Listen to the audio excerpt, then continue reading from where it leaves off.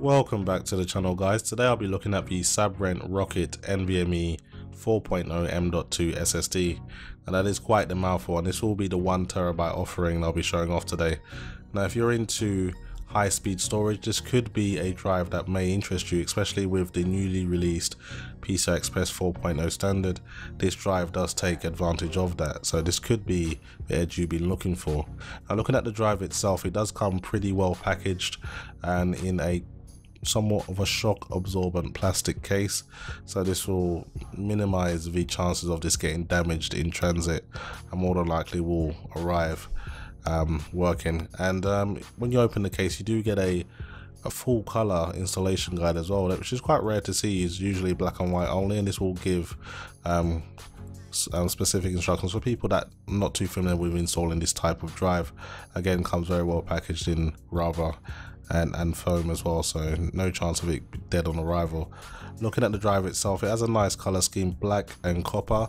This is something that's not very important but it's nice to see that Sabrent have taken the time to put a bit of artwork to good use. And um, more than likely you'll have this this uh, hard drive covered over with a heatsink because they do tend to get quite warm in operation because um, it is running at very very high speeds. And if you're into um, if you have a PCI Express 4.0 um, system, you could get up to five gigab five gigabytes per second of write speed, which is pretty insane. So I'm using the Gigabyte Z390 Aorus Master, which means unfortunately I'm limited to PCI Express 3.0, but this drive still pick, um, packs quite a punch even at PCI Express 3.0. I'll go over the speeds in one moment, but one thing I want to point out is my motherboard comes with a built-in heatsink and this is important because the drive does get quite warm at high speeds and it will throttle unless you keep it cool. So you can get this drive with a dedicated heatsink which will cost a little bit more of course or you can buy the heatsink separately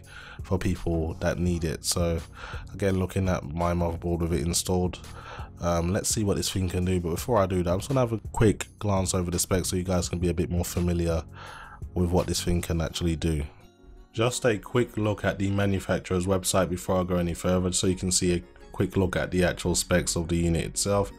In terms of storage you can expect up to 2 terabytes from 500 gigabytes of storage which is uh, decent especially with the speed that this thing is offering. Now in terms of read and write speed this is where um, things get pretty interesting with the recent release of PCI Express 4.0 you can expect speeds up to 5000 megabytes per second now which is unprecedented and read speeds up to 4400 megabytes per second again which is um, getting into new territory here.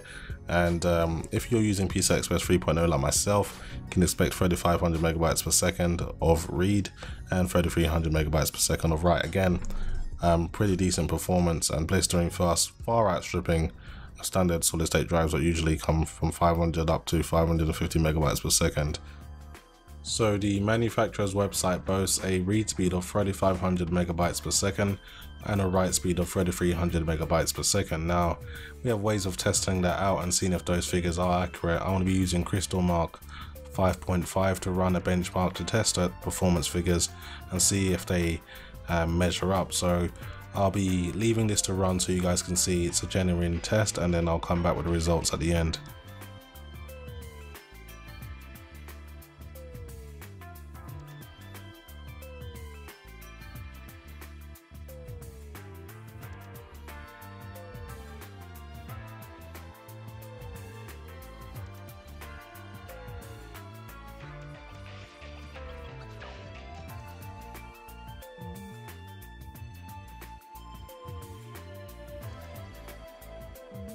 So as you can see here, the manufacturer wasn't bluffing when they said they had a 3500 megabytes per second read, uh, which is obviously being rounded up, and uh, 3300 megabytes per second write, even exceeding it slightly.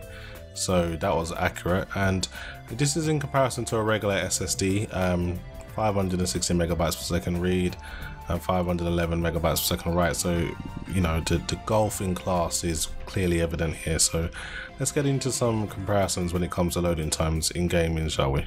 That's it for benchmarks. Let's move on to something a bit more interesting. So this is going to show you the practical use of having a fast drive when it comes to gaming. And the main benefit is just seeing a reduce, a reduction, should I say, in loading time. So you'll wait a lot less with um, a faster hard drive. So what I'll be doing is I'll using the Sabrent Rocket NVMe versus standard mechanical hard drive that runs about 7200 RPM. Should just show you the clear difference in performance um, when it comes to loading time. So what I've done is I've loaded one game with each hard drive from the exact same point what I'm going to do start the timer as soon as one game finishes loading and stop the timer as soon as the second game finishes loading and just count the difference in seconds that you've saved. So start with The Witcher 3 and uh, for those who are interested I'm using Cyberlink Power Director. Uh, this is the editing software I use mainly um, but I do use Adobe Premiere as well but uh, let's just see the difference when it comes to The Witcher 3 and I'll start the timer now and I'll stop the timer as soon as the second game loads as well. So the Sabrent Rocket NVMe, the clear winner of course, it's uh, considerably faster than the standard mechanical hard drive and uh, let's just see how much faster, so almost 20 seconds faster. Actually indeed it was 20 seconds faster which is pretty outstanding so yeah a clear difference there so you, you'd have your games load a lot quicker. Um, so this was just one example, of course. Um, let's see what it does in a different game. So the next game that I'm going to be doing the same thing in is uh, Assassin's Creed uh, Origins. So again, I'll start the timer as soon as the first game loads and I'll start the timer as soon as the second game loads and we'll see the difference. Okay, so that's one. I doubt it would be a bigger difference as The Witcher 3. The Witcher 3 does have quite extended loading times, but so does this game, so we'll see um, the difference and how much time you save. So 15 seconds there, which isn't bad at all. 5 seconds less than The Witcher 3. But again, um, imagine the time you'll save over a 60 hour campaign on the game. So you got to think about it like that. You're going to be saving yourself a whole lot of time. And there are some games where it's to a benefit, especially if you're playing player versus player games like Ark Survival Evolved, spawning in, spawning in all the assets. You'll have a faster hard drive. This will help get you back and possibly um, get an advantage there. So I was a little late um, starting that timer, but um, no worries. Um, let's try and compensate a little bit.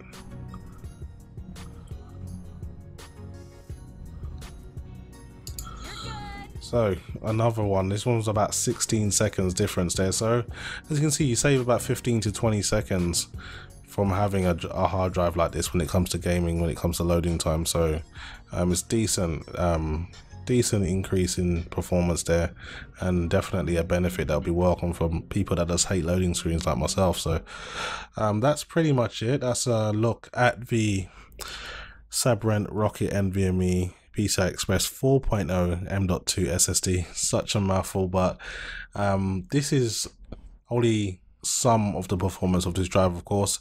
Maybe if I get a PCI Express 4.0 platform in the future, I'll revisit this.